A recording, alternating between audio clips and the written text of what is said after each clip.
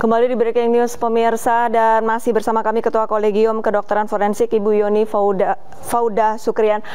Uh, Bu Yoni, dari pemantauan Ibu ini sebenarnya dari sisi tim forensik ini kendala apa yang mereka akan temui nantinya?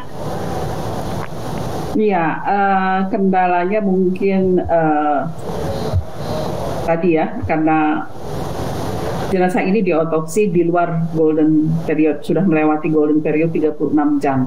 Tentu bagaimanapun ini akan membawa kesulitan tersendiri ya. Meskipun sudah diformalin dan lain sebagainya, kita belum tahu sejauh mana formalin yang pertama itu efektif uh, bisa mengawetkan uh, jaringan tubuh yang diperlukan.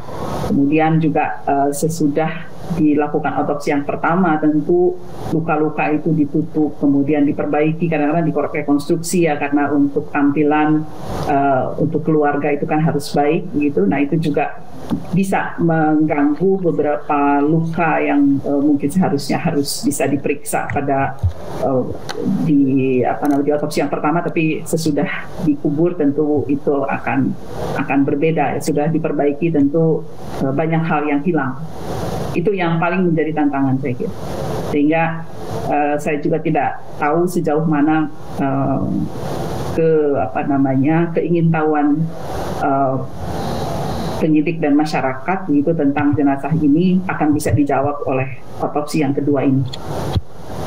Bu Yoni, mungkin dari sisi Anda, Anda bisa menyampaikan kesimpulan dari uh, hasil otopsi ataupun proses otopsi ulang Brigadir Yosua pada hari ini, Bu. Silakan, Bu.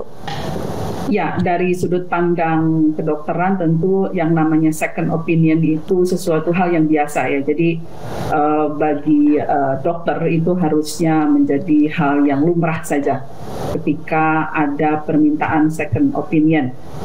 Uh, nah, ini second opinion ini nanti ujungnya bisa pertama bisa mengkonfirmasi uh, pemeriksaan yang pertama, bisa juga nanti hasilnya uh, berbeda.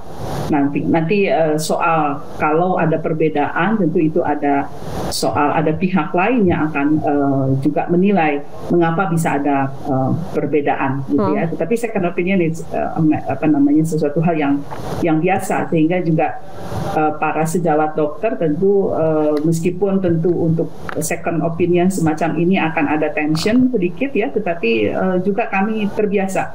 Karena uh, saya pengalaman saya lima tahun terakhir ini uh, proses second opinion untuk kasus-kasus forensik itu mulai uh, banyak juga ya, uh, apakah dia korban hidup atau korban meninggal itu uh, permintaan second opinion menjadi bertambah, artinya uh, misalnya sudah pernah diperiksa oleh uh, tim dokter satu, kemudian keluarga merasa tidak puas ingin diperiksa lagi oleh tim dokter yang kedua. Itu menjadi agak agak sering ya, sehingga saya melihat uh, ini uh, positif juga bahwa masyarakat mulai uh, sadar tentang hak-haknya dan uh, juga menyadari bahwa kalau dalam kedokteran itu uh, fakta itu hasil pemeriksaan bisa berbeda, hasil kesimpulan apalagi, begitu okay. ya.